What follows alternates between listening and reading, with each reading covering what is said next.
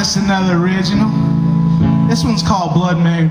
All my stuff is kind of happy yet morbid.